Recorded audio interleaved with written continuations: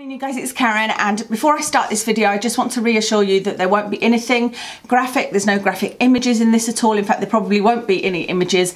I might put maybe um, one of the dogs up for adoption at the end of the video but I just wanted to tell you about a birthday fundraiser that I am doing and that is so close to my heart and I wanted to ask for your help with either sharing um, the charity's information or donating of course would be amazing. So basically what it is is for my birthday which is in June I am asking to not be sent cards and not be given presents but instead that people donate to the charity called Animal Hope and Wellness. June the 3rd is my birthday and in June more towards the end of June is the Yulin festival where dogs are tortured.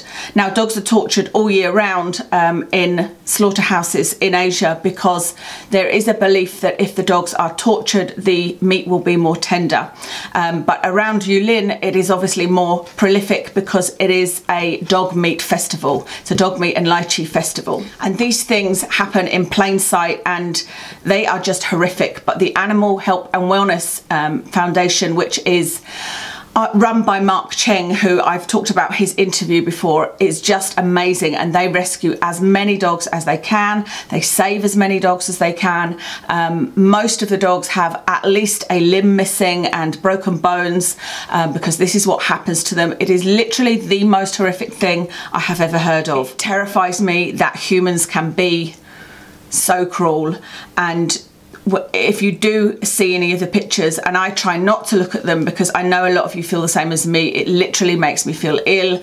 I can't concentrate on anything but I did catch a few photos a couple of days ago because obviously if you're involved in, in the charity you may occasionally see photos. I just felt sick to my stomach. I, it was horrible but the look in the dog's eyes is just so innocent. Um, and when they get rescued and rehabilitated. They're such happy, trusting dogs. It's just amazing what the charity does. So anyway, um, like I said, I wanted to tell you about it. It's on my Facebook page. I will put a link to it, of course. Um, and it can be anything from a pound to whatever you can afford.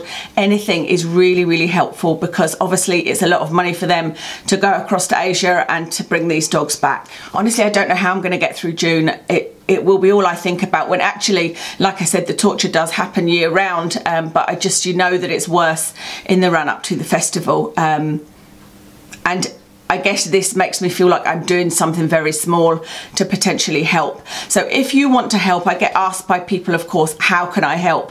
If you want to stop this, there's two things you can do. One is donate, um, and it's very, very simple to do. Or you could create your own fundraiser, of course. You could do exactly the same thing as this for your birthday.